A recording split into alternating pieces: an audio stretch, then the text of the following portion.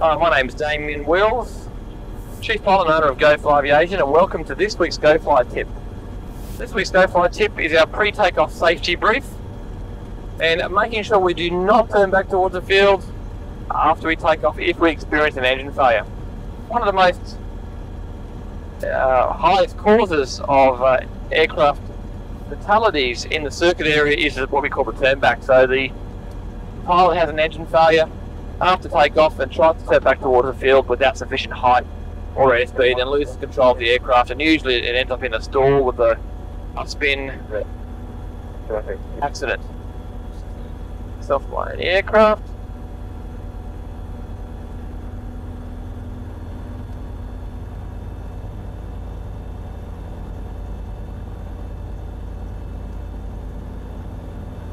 Quantum Sling 8068 is uh, entering runway uh, 23 for circuit cleaner and copy is detected.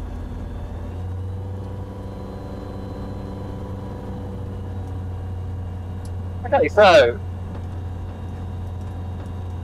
our, our pre-takeoff safety brief will be basically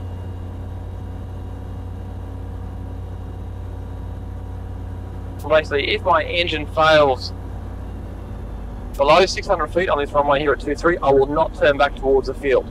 I will land up to 20 degrees at either side of the nose in the sling aircraft, adopt best glide speed, full flap, and make a mayday call if I get time with everything off. If I have an engine failure once I'm established on crosswind uh, or above 700 feet, I've got the option then of landing on runway 12 here at Caloundra. And Texas at 427, do you mind if you uh, hold short of uh, 23 minutes, okay? I'll be holding short, 427. Okay, so once again, the pre-takeoff safety brief is there to preempt preempt you that if your engine fails after takeoff, so you don't have to think about what to do. We don't want to automatically try and turn back towards the field. So the pre-takeoff safety brief is simple. If my engine fails before 600 feet here on runway, runway 23 Caloundra, I will not turn back towards the field under any circumstance. I will land, adopt best glide speed, 70 knots, and land up to 20 degrees either side of the nose in the field. Select full flap when required. Give a mayday call if I get time, and uh, turn the uh, turn the master off. Once about 700 feet, I then have the option of landing on runway 12. Let's have a look at that right now. Land Pacific Sling 86 80 rolling at 23 to Circuit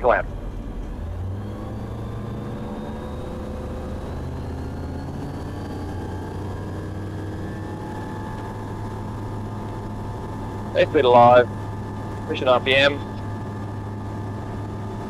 back pressure, and we're airborne. 70 knots.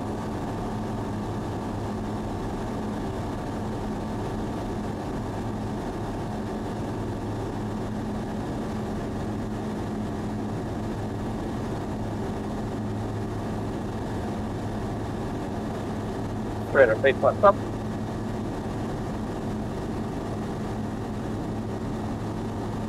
And at 450 feet, I'm going to simulate an engine failure, so we're just taking off, and all of a sudden our engine fails. First thing we do is nose down, adopt best glide speed 70 knots, and I'm going to land in that field straight ahead there. First stage flap.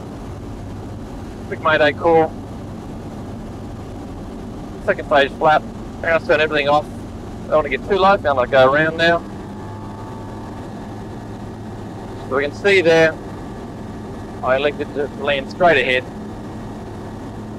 and not turn back towards the field. Clear my left, clear my centre, clear my right.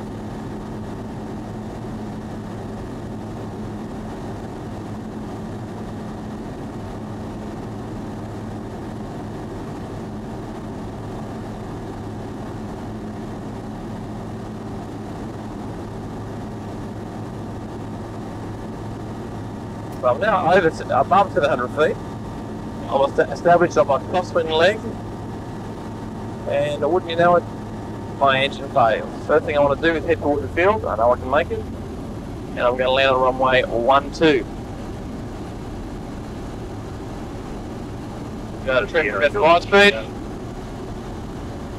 My direct sling 8068 is right base runway 12. Nothing else down the circuit, quite approach, not to land.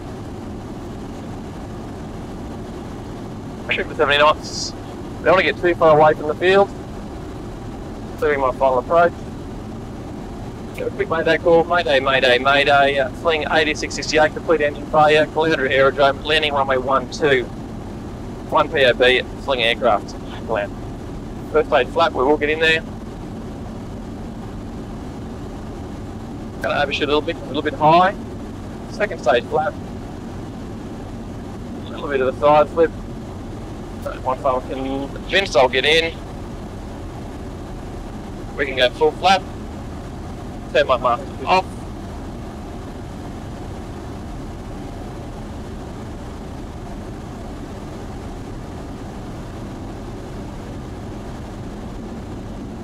And land as normal. Looking to the end. Holding off. And we land.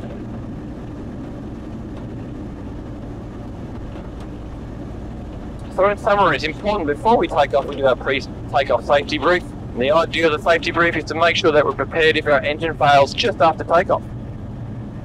The brief is simply that if my engine fails before a certain height, depending on your aircraft type and the aerodrome, I will not turn back towards the field.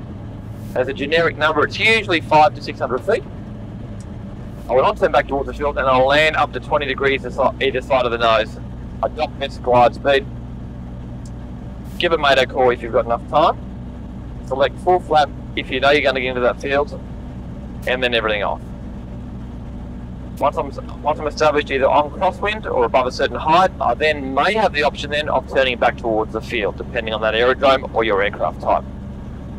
Thanks for joining me today on GoFly Tips.